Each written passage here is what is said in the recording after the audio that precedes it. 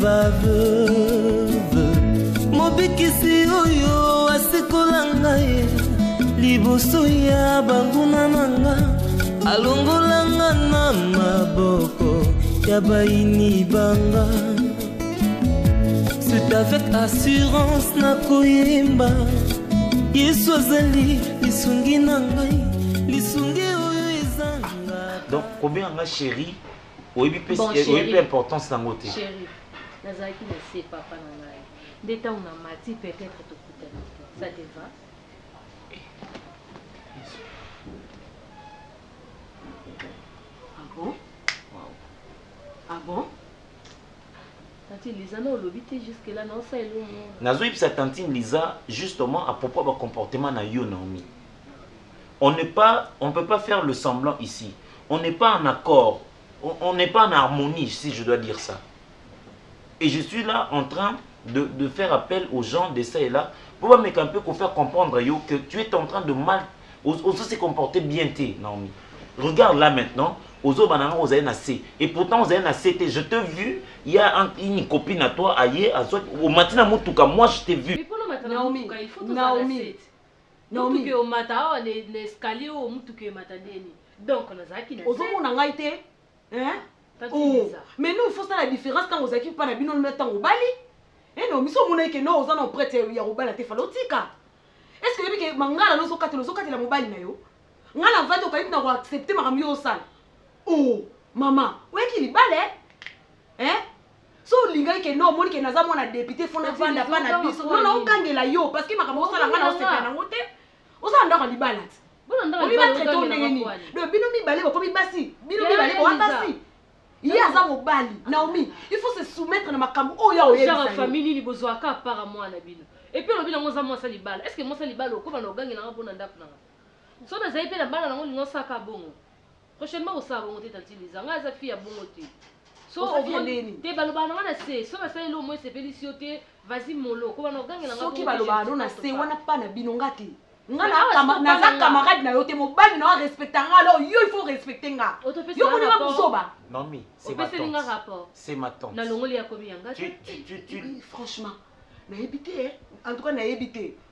Soit Nga disant pe nayebi soki te choix kasi basalelaki yo visa. mais franchement Peu importe ndenge olobela yango je suis ici. Mais tu es Ezala ici, choix tu ne peux pas, basaleli ye to tu ne, choix tu ne peux pas te misalelaki comporter je comme ça, vis Naomi. ici. Ici je suis sous ndako na nga. Ya Liza faut opese ba mots. Oza na ndako na nga. Et puis Dacosta faut tala bato opesela nga rapport, comment opesela nga rapport pas n'importe qui te. nga Ma naza tante aza n'importe qui n'importe qui. nga naza n'importe qui oza impoli Très impoli meme. Et puis Dacosta so osilisi bobima libanda hein po na linga prouve service. Tante, tu as ecoute ça? Tu as ecoute ça? Waouh. Waouh. Kanda okoloba. Donc libala ya ngana Naomi c'est du waouh. C'est du waouh. Mais ndako ça faut une décision. Il faut une décision. Eh. Hey. Donc ti bovandi wana comme mona yako mobali yoko mwasi. Donc ezalaka nango boy chaque jour. C'est ça l'ambiance ici. nabi boye nabi hein. bongo sikoyo ata moto wana ofandaka ya bongo ozongela ata bakoo na oti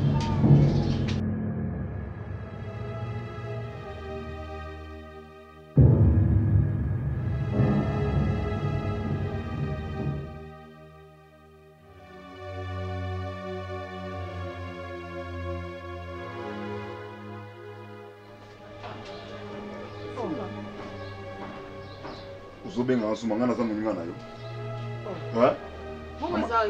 kanga mbanga na yo nayeli yo te nayeli idiote oyo oh, eh, madame omoni lelo biliaki oyo bikoki okendabisa yo yo kobate bongo no te pourkui osali nga nini ozosala ya mabe na yo oyebi yango te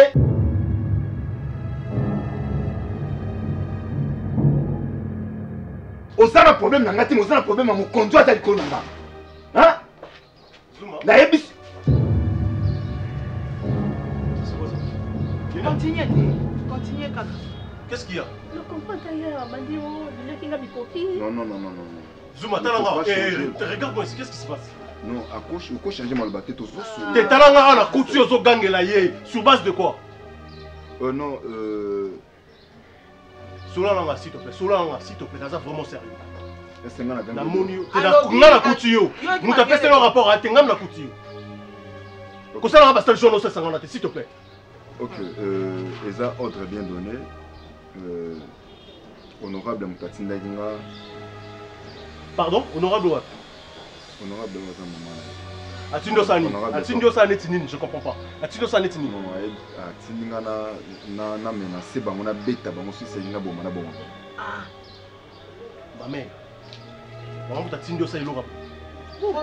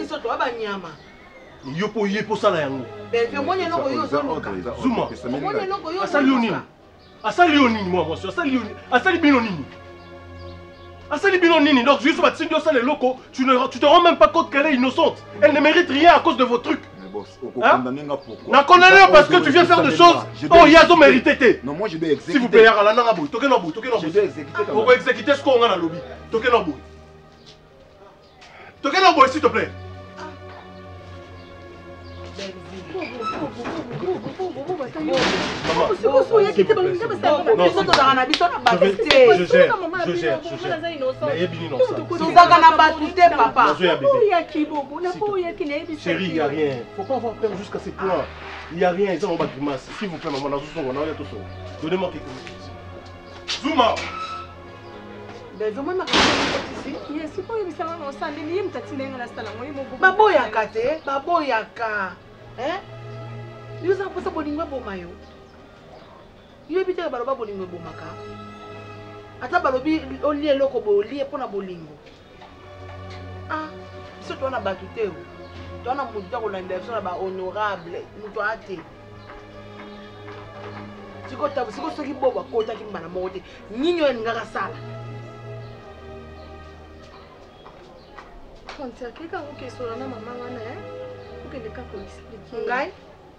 nga nakende kuna mosuku okende kuna te tosuka ndeni bakekata nga motu suku nga nde bakata nga motu mpe okende te tokende te eh, naza ta na esengo no ata moke te eza na sens te yango yo obalisaki dacosta ake komona esengo to ake komona malere eh? te naomi lelo azalaki prépare na libala te mwasi epoli ndenge wana te eh, naza na esengo na yo te parceke soki olingaki bonheur ya bana na yo okosala makambo osali pa dacosta te o oh! kolinga bonheur na koboya bonheur yaya ngai dacosta abengai ngai na ndako mm. nake na dacosta nake solola na dacosta mais non mwana aza na kimia te na ndako ya libala oh mwasi impoli ndenge wana oyo abangaka mobali te yeya so ezalaki ke no bosala association na bino lokola boza badepute bosala makambo na bino mai no bokokota bana babétise na bino wana te parce que wana obenga yango eza bétise donc lokola yo oza honorable donc il faut mwana no mpe kaka bala honorable ekomama wapi te yeya nagangeli yo te parce que naotala dakosa aza moke makonzi lisusu aza lese te abimisaka naobima te aza ndako ya na ngai ya naosepela te zela tokeba nalobi kitisa mongongo ozosola na nga yaya na kitisi parce que nga nalingaka bonheur ya bana wana hmm. eza kitoko ata moke te yaya dacosta mwasi abangaki ye na ndako te mon fils oui maman c'est quoi ça comme problème eboyisi yo komela ata jour na ndako ya mama na yo hmm? bien maman je je crois que je touche le fond je ah touche le fond ah bon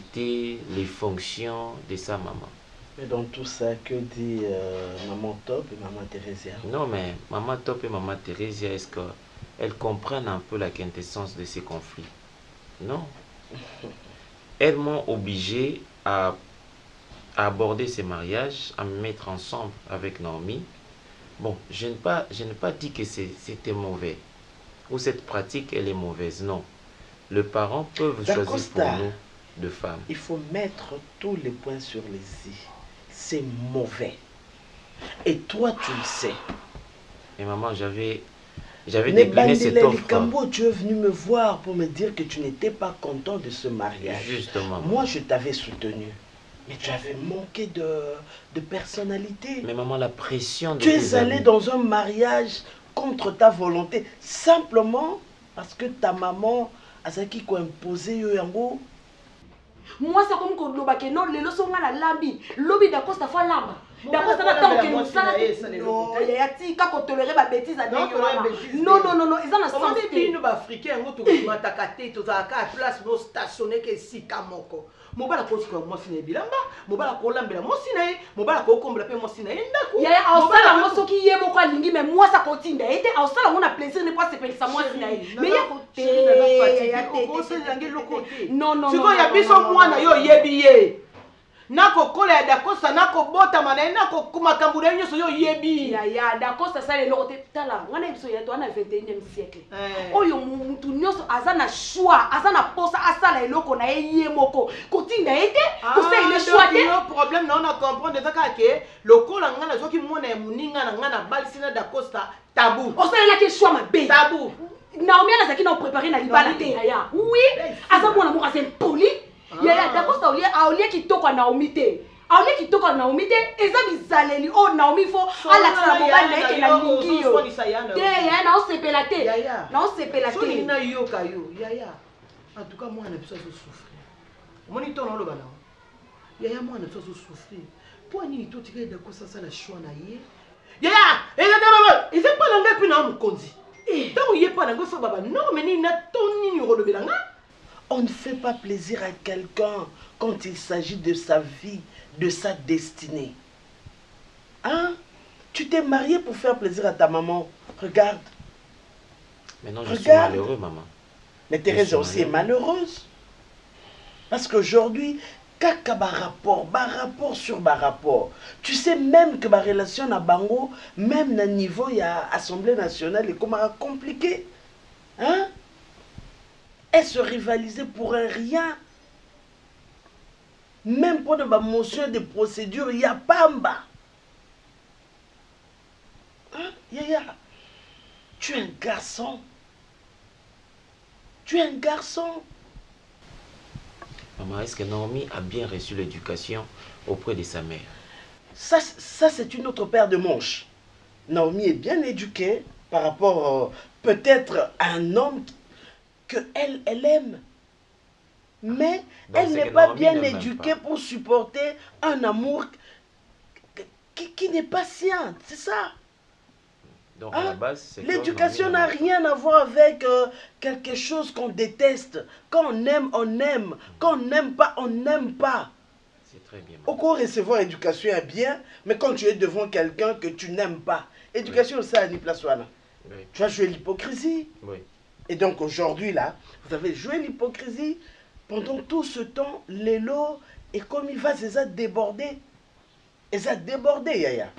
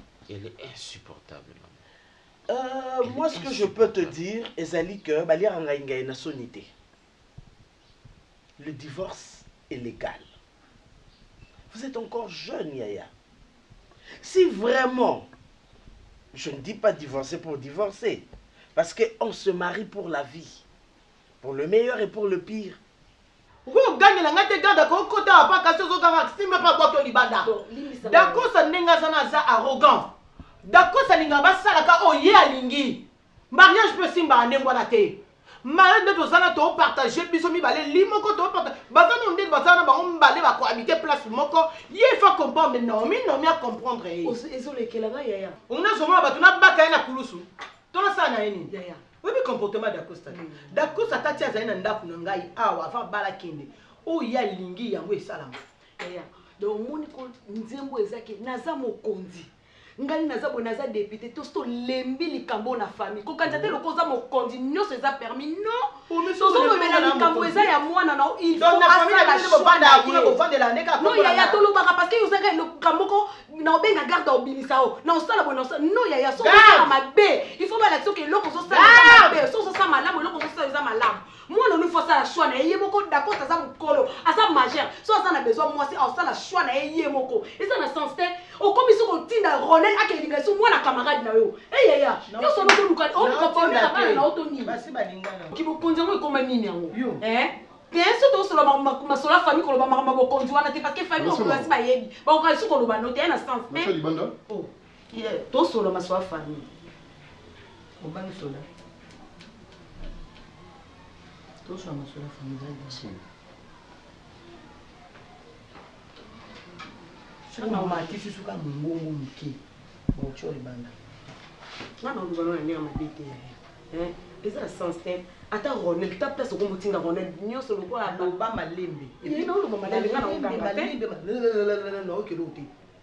Loba malembe malembe. Oyebi ndenge nalobaka na nga kaka boye. Nga koloba nga na muninga no tolanda ngai te.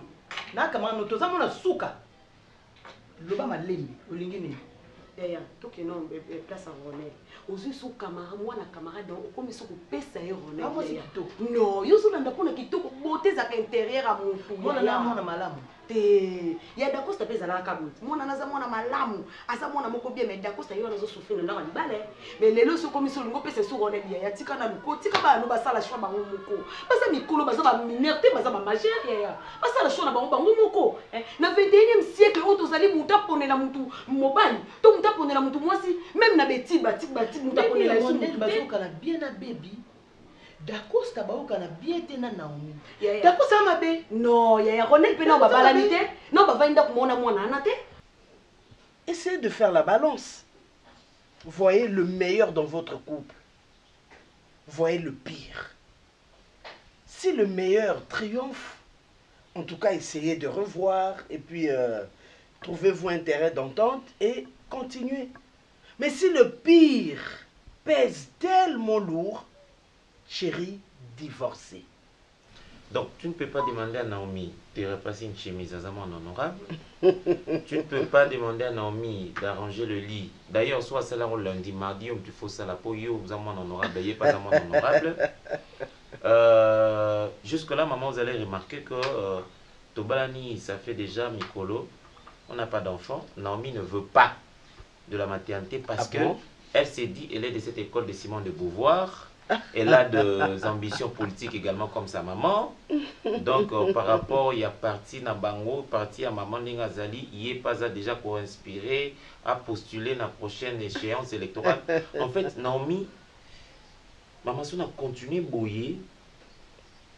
En tout cas na ndenge proliferation ya ba chaines sur YouTube ekomi awa mutu nionso tout akomi ko poster eloko nde nde alingi le jour où je vais arracher la dent à cette fille Non, non, non, non. Non, bakoya non, non, kokanga non. nga à Ça, c'est etager na archaïque. reputation mais C'est maman vraiment comment archaïque, Naomi yaya. akoki ko manquer nga respect Mhm.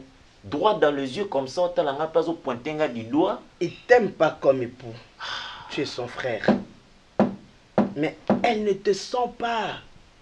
Elle ne te sent pas comme epoux. Meme louer une cravate pas lui en pour moi. vouloir. Naomi azo yebisa nga oh wamu nga pe na mwana nora be nga na sa elo Chérie. cravate na mwana musala na Attends, est-ce que dans le attends. foyer mwa- mwasi azala mwana musala maman Bon, écoute, euh, on va pas crucifier Naomi.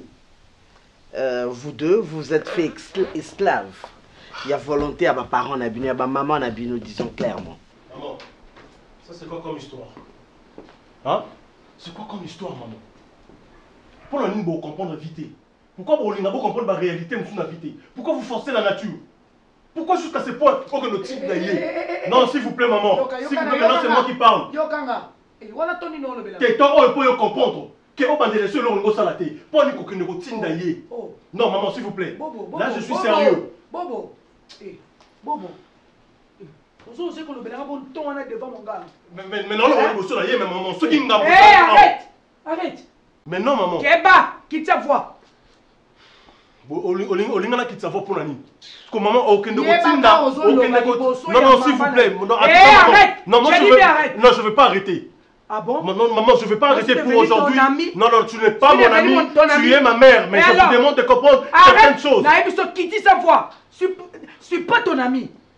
Boni boye ko un peu du respect. C'est quoi ça? D'accord avec beaucoup de respect que je vous dois. Mais maman po aloke loti na zuma que lobeta mwa mwasi batu.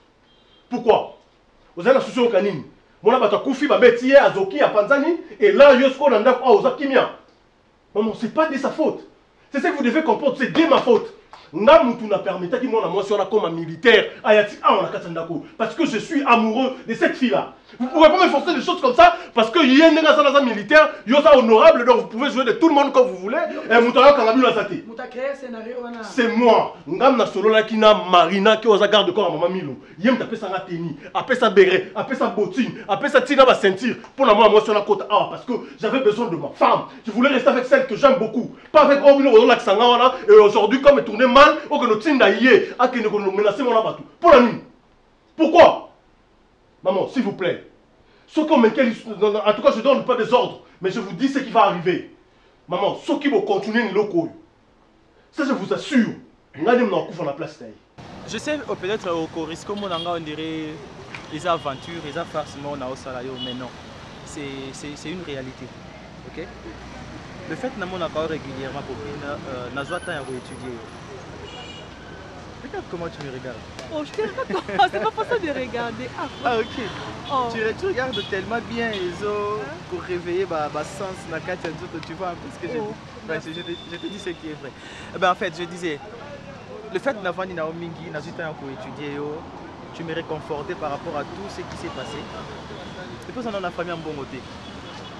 oza na famille mbongo te bon j'ai trouvé bon ya kosolola na yo nayebisa yo vérité nayebisa yo clairement je voudrais à ce que tu sois à mes côtés je voudrais à ce que to, to évolue ensemble bien que tozo évolue déjà ensemble na makambo ya mosala mais je voudrais à ce que euh, qu'on ait une relation sérieuse toi et moi Vinny, ata yo moko. On a linganga parce que vous avez une déception quelque part comme Non, ça n'a même pas ça n'a. Yo kuto bête na lisete parce que na ba problème on est au début à la fin. OK. Au moins c'est ça. OK. C'est comme si comme si comme si côté là tu as échoué mais non que non, na kende ka refuge na pas copine parce que na zala na yo on est na sens. Non non, eza eza na sens yo zo zila ngote, ça je peux te le dire. Non parce que ceux qui boz boz zala qui moi c'est nani copine on a que atendaka seke bozala na ye olinga olinga nga te laisse-moi dire alingi na ye te yango wana yo moni laisse-moi dire laisse-moi dire merci à la personne qui avait écrit quelquefois le malheur est bon mais il fallait qu'il malheur eya ya ke ngai na ursile esimba te pour enfin na reconnaître que il y avait des valeurs oyo ezalaki côté na ngai mais nabandaki komona yango te nandaki koreconnaitre yango te sérieux popine tu es une fille euh, désolé Tu es une fille bien, tu as des bons conseils. Euh, c'est ce qu'on dit, hein. Mobali, soki aza na mwasi moko ya malonga pembeni na ye, ça pourra aussi l'aider. Ya que dans les jours à venir, ba activité na ye, makambo na ye évoluer que de liboso. Non, mi boma na ndako comme ça, vous comprendre que non, la vie va forcer la nature. Alors. D'accord. Eh, honorable Milo. Bonjour. Maman, maman, c'est inutile. Non. Maman, c'est inutile. Maman, écoutez-moi s'il vous plaît. Maman, yoka. Non, hey, yana ndaku. Yoka ndenga. Maman, yoka ndenga. Oui, lobi na ozala wana, c'est Maman, maman, omoni ndengo bengi maman Milo wana. Soki bolingi bokangisa na garde corps wana Marina. Eza yete mutasali yango. Ngambo na manigancer makambo nionso wana. Soki moto akokangisa, moto akobetisa fimbu eza nga. Tu te prends pour qui toi? Et puis, soki bakangi bango, ngai nakokende komitika na police mpo ba liberer bango, ngai nde nasala prison na place na bango. Parce que je vous ai très bien dit que ngai nde na manigancer yango. Tout ça pourquoi? Parce que bokomaki ko embeter nga, bokomaki ko embeter nga. Cette fille là aza na droit ya kolinga moto te, cette fille là aza na droit ya vie te. Tout ça pourquoi Parce que bosala bali kelema na mino soki pe nini na yebi te po bana kobalisa bato na ko regardez comme comment est-ce que ma petite sœur est malheureuse à cause de vos histoires maman ça je vous dis ça je vous dis vrai ça je vous dis vrai maman mokolo moto akosimba ata suki moko ya bellevie ngai na omiboma na ndako na omemiso ngambo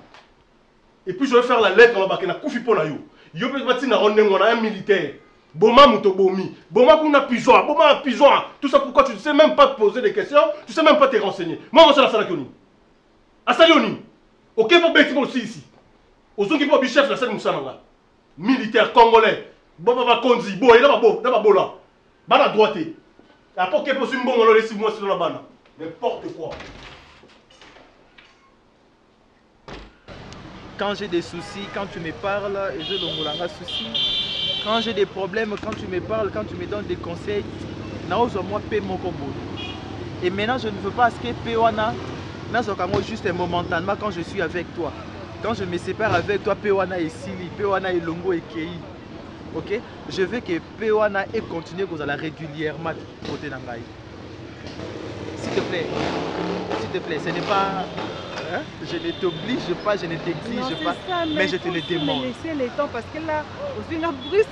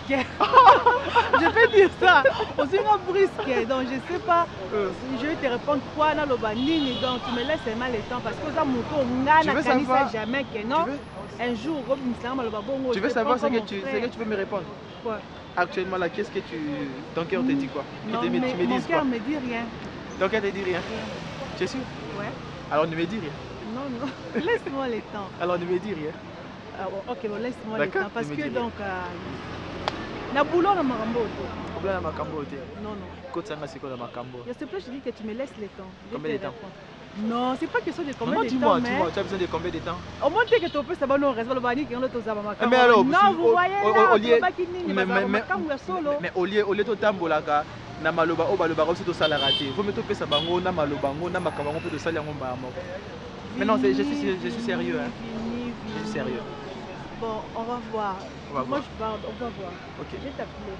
Okay.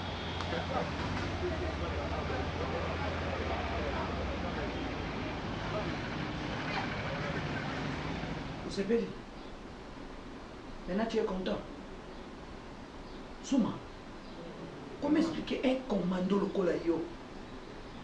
Oa mayele to oza zoba na bengo kizengi. Batindi yo mission okeyi pe tango yo omonaki po boye fallait osala oko kosa nayo eloko moko soit na bandaki koleka na moni yo papa yango naye na pesi yo mbote yo oke ko devoile tout oyo ngai na yebisaki yo osala pona famille wana est ce que toi tu es normal toi est ce que oza normal sikoyo obimisi ngai na nani devant mon fils obimisi ngai na nani Repond moi oh Zuma na age na yo et puis oyebisi nga jeunesse no mombeleka na na na na na musala na armée vraiment okozala zoba zoba boye hein ok obangi bobo faut banga bobo be faut banga nga naza naza mokonzi na yo mais yo préfère obanga bobo ke ngai ok odevoile tout Yebisaka yo mona saloni. Yebisaka na saloni. Po soda nyoso soki abungi to pa abuki mibeko azaka na mbano na ye. Yo siko yebisaka na saloni mbano nona peso ezali. Longwa la longwa. Longwa limo na misu na mwasi.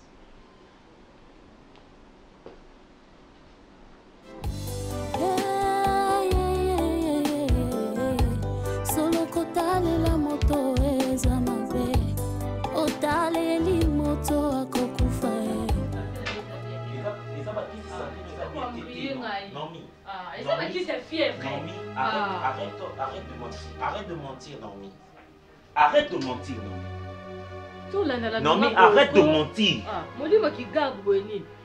je pris ces médicaments, na keyi ko contrôler yango. J'ai remarqué qu'on mela yango trop. Je me suis dit, malade nini obelaka o nga na yebite. Je suis allé avec consulter un médecin, avec singa justement, moi si so azo mela bakisi oyo, c'est que aza na posa ya kobota te si je comprends bien yo comment fouiller biloko alors si je comprends bien yo comment obeta batonga okoma mela bakisi mpo ozwa zemi te et pourtant tu es une femme na kati ya ndako wa docteur nini ayebi so yo docteur oyo aza docteur docteur oyo aza docteur alors tu dois me dire pourquoi yo mela bakisi pourquoi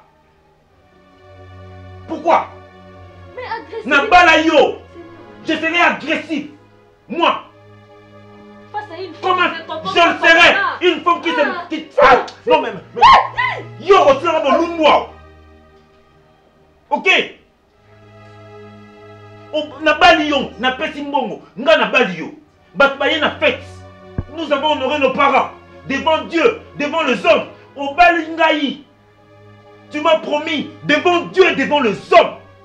Moi je t'ai épousé. Mais sur base de quoi Yo Kobo Kobota Sur base de quoi Mais non, non, non, non, non, non Non, Non Naomi Mais attends Mets-toi à la place de ton frère. Face à une femme pareille, oh. un homme ne, sera, ne deviendra qu'un fou. Je n'ai pas le choix. Il faut bien savoir Boma.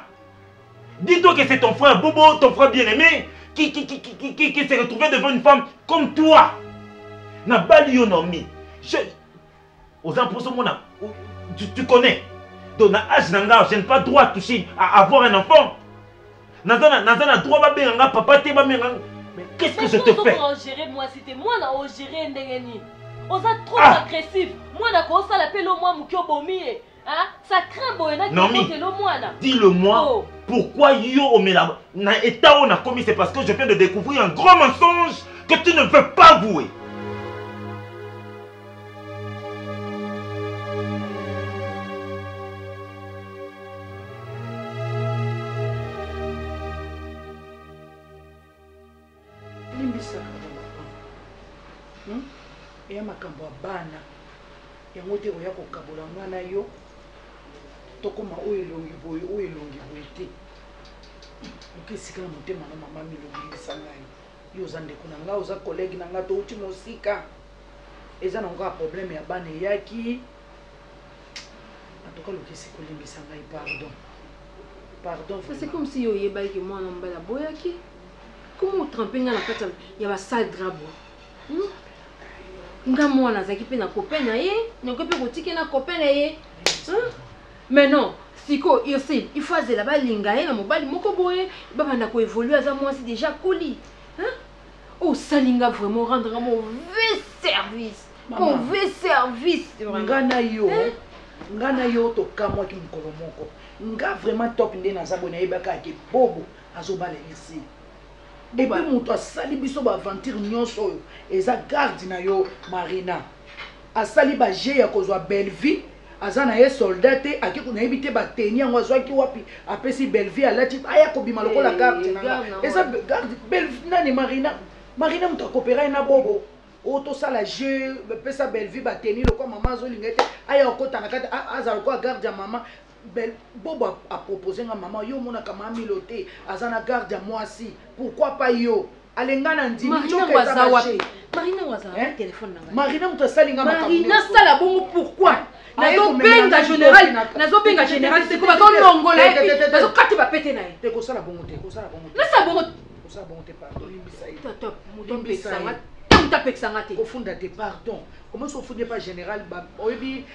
ba soldat nani punition na bango ndenge ezalaka akokota ndolo akokota ndolo akota ndolo ke marina abomi ngai apesa bebiteni ngai nayebaza na garde ya mwasi njoka mwana na aya mission na kati ya ndako na nga naye komona soki nalingi nabima il faut batinda ngai nabima nazuma bobo alingaka bellevue abima te nzoka te limbisa honorable kosala bongo te pardon kosala yango te kosala yango te pardon ngai naza moninga na yo pardon kata kosala bongo te ye azokengela ngai soki ye atrahir ngai donc akoki mpe koboma ngai soki atrahir ursile eza neti atrahir ngai ngai na ursile toza motu moko ursile se ma fille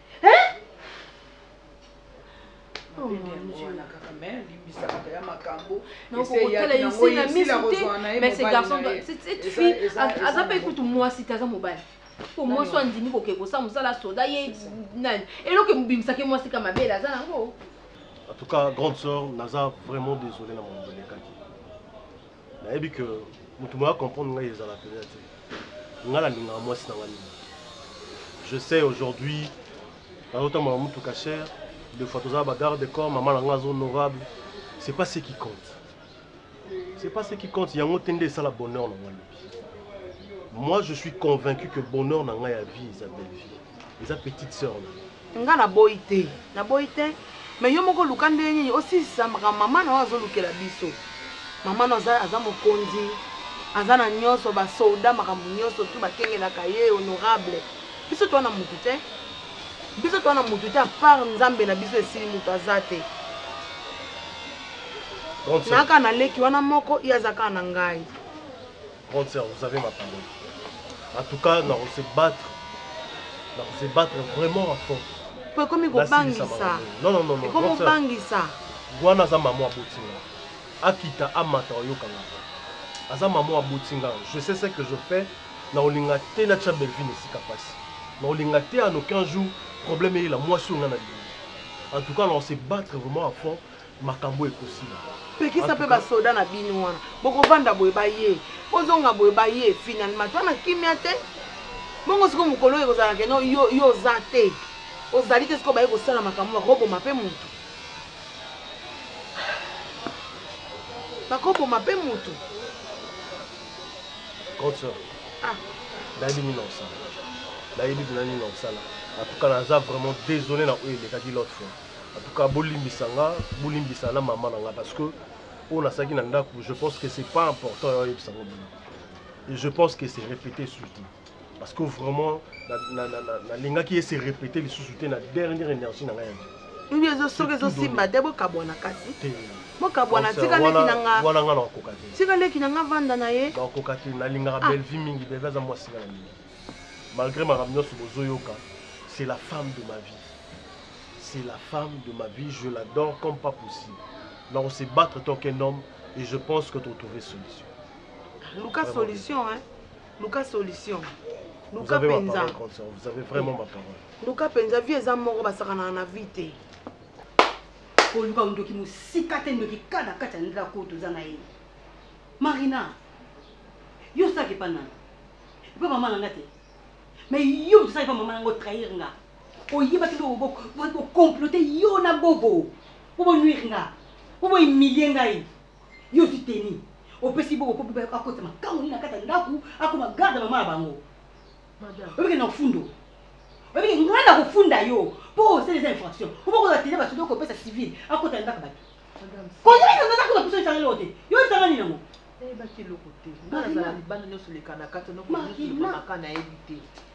Nga nayebi te que ba bongisaki yo na bobo bo balana. Bobo aye ko mona nga na sunga ye. Marina oyeba te ndenge nini? Oyeba te bobo aye aluki yo bo sololi na bobo pona ba tenue marina obombeli nga osepeli nde ba humiliaki nga? Makambo nionso eleki kuna nga na oyeba ndenge nini? Nga nao kanisa bao pesa nga bague bao latisa nga bague bo ba fukami nzoka nde ozo pesa mutu alati sokoto kaka lokola yo nde otelemi boye osepeli nango? franchement opoignarde ngai nayebisi na kobosana oyo osali nga ko etikali nga elembo vi nanga mobimba moto ya libanda asala nga me yo te marina mani napesa koba bambongo na nga mike mike tobimbo na kabeli yo marina nazokokutuka soda te nazokoka ni mondeko kaka tozalaka nazalaka libanda nyonso esolamaka awa oyo esalamaka wana oyeba ndenge nini kino basalaki yo na bokobalana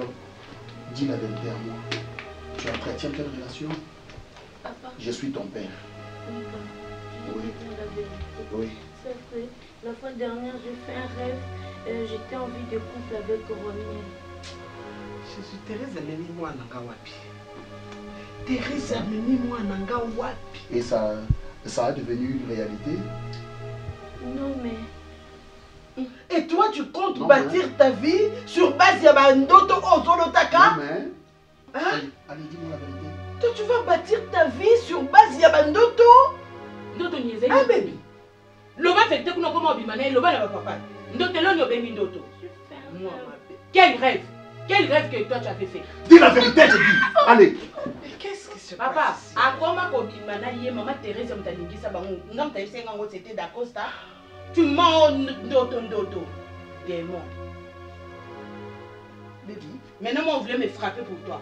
Baby. Hello, bête. Attends, on va plus crier. Baby, écoute, la vie n'a pas de brouillon. Tu m'entends Et tu es une fille, une femme. Aujourd'hui, monde est comme plus que espérer na basi. Parce qu'on a besoin que basi bakoka ko bima na kati ya ba carcans oyo bazalaki nango depuis tout ce temps. Et c'est le moment oyo omoni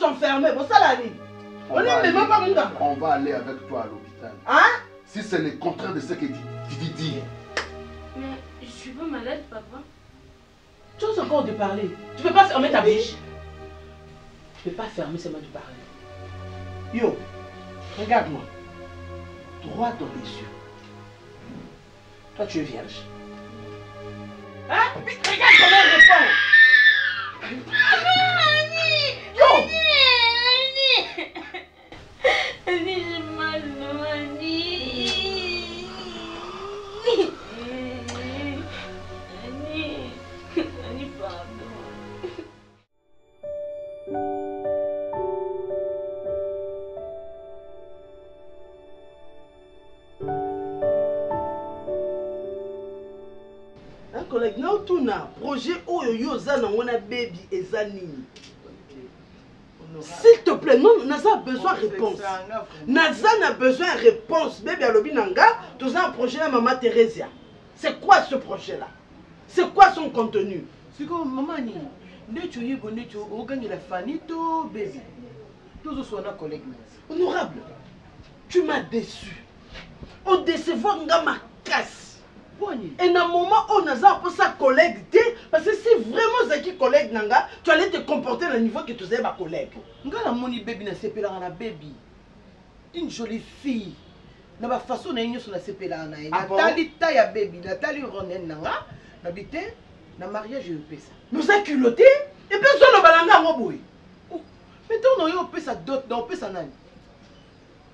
Non, mon père na dot na ngai na ebo ngai maman na lon na ronen na ye ko pesa dot na pesa na non pesa collègue na nga ani tala Theresia to tia no mamba ya ba collègue à part parce que na mona dire na zo mona dire ki collègue wana ki honorable wana yango mutu zo sala ki to to bunga nzela te so to tia à part to so na makasi ne tu zo gangela nga bono ni nkutu te mais to tiaka ki collègue mais est ce que tu te rends compte tozo bongisa mwana nga nzela et tu sais très bien que na ba projet na bino wana na tikala jamais kokota na kati oyebi yango hein maman à cet âge mwana nga maman maman na biso babala yo bala na âge wana bombe maman biso babala yo obala na âge ya baby ndeko na ngai maman ni mon collègue tika kopointaka nga dwa boye nde nazolinga te namo okomona nga fani loko omona nga lokola bebi eza bongo te nga na propose fille na yo naboyi te aza mwana na yo so ye mpe alulaki renete tanga aboya na ye atombaki amoureuse je comprends pourquoi okendaka kolala na baplenière je comprends pourquoi oh parce que tu n'es rien Tu n'as rien. Au moins, il y a honorable euh, député. Tu n'as rien. Car pour la proposition hein? de mariage, j'ai pas moi na yo. Il y a moi na fille nga boy. Na yebisa ki okene sa ki na besoin na balisa moi na. Oyo to bala ye. Et même si na balisa na moi na ote. Oh pourquoi pas? Il est pas tombé amoureuse. Pourquoi pas? Au moins tu vas crier pas là. Non non non non, on accepter mon collègue.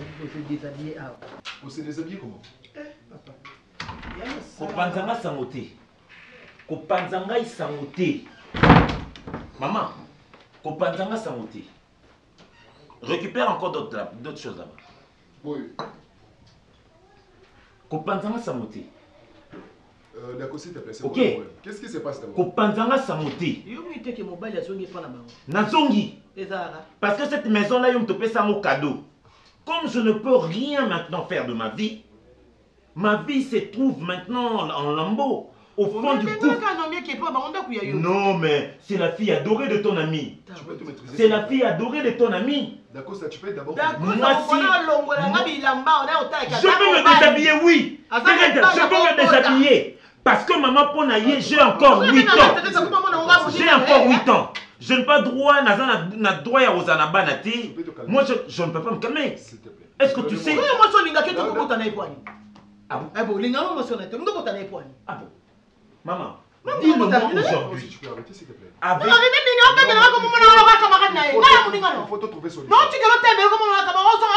nani napesa nga teresa ndako na yo te cette maison appartient à mon père je veux te le dire aujourd'hui si tu as une carrière politique aujourd'hui c'est parce que mon père fit ton mentor je dois te le dire ça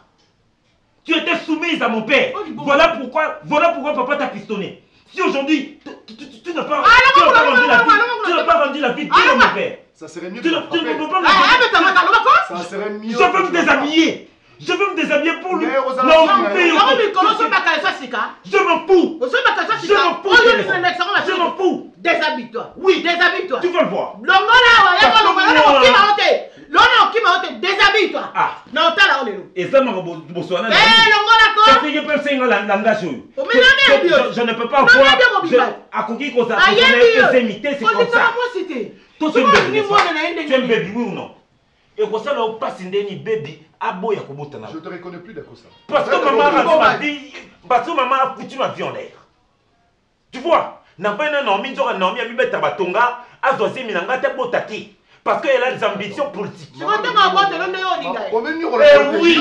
Thérèse eh oui! Je te dis ça! Je te dis ça! Mwana na baby omeli nini? Non non non eza makambo ya mela te tu as foutu ma vie en l'air.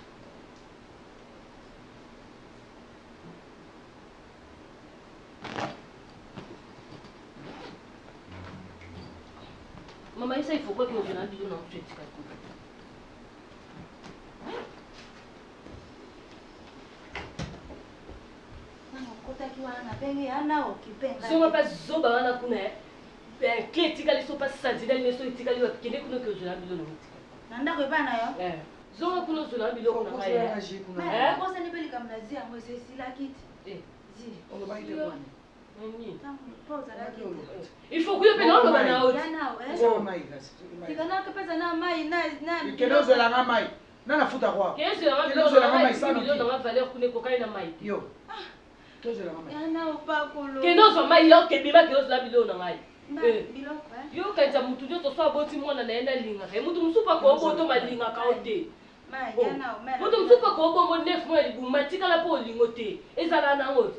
Oh, Bible elobi na ntango ya suka moto na moto azo binami na famille na ye. Bongo nga soki nazwi na famille na nga, sika eza wana. Eh, fallait na kufa kuna ye moko mobali akangi yo soki mwa mobali akanga biloko akenda. Oh, soki sikoyo mobali akangi biloko akenda, nga sikoyo natika na famille bongo.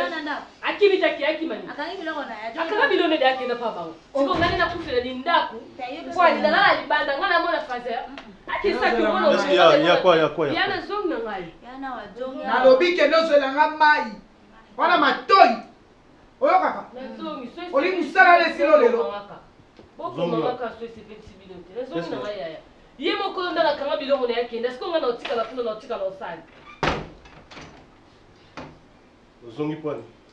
Ke ye mwa mobali dejà akanga biloko akenda naye natikala nga moscou natikala osaniko nga pe nazongi na nga elikia na makimbi yako pesaka batu so mibali so basi so nini nga nalingi yango lisusu te nga na sili sili kelemba wana mutu na nga esi balie esili nga nako zonga lisusu ba mabala ba ma kelemba te mobali mombaza tendre te aza eloko te ko ganga ganga papa mbonde yo mutu batala mutu Eh. Maman olobi nini? Namoni mwana azongi. Nauta. Asepela na ye te. Asepela te mama linga ngai te. Alinga nde na kufa. So na zongaki ande bembe nde mama linga ayoka bien. Motema mabe. Oko osali kelema na yo kuna soki ezali ya butu soki ezali likema mo yo kotina ngai naki okufa ngai nde victime na yo. Oh. Viens, y'a comme ça chambre. Lève-toi.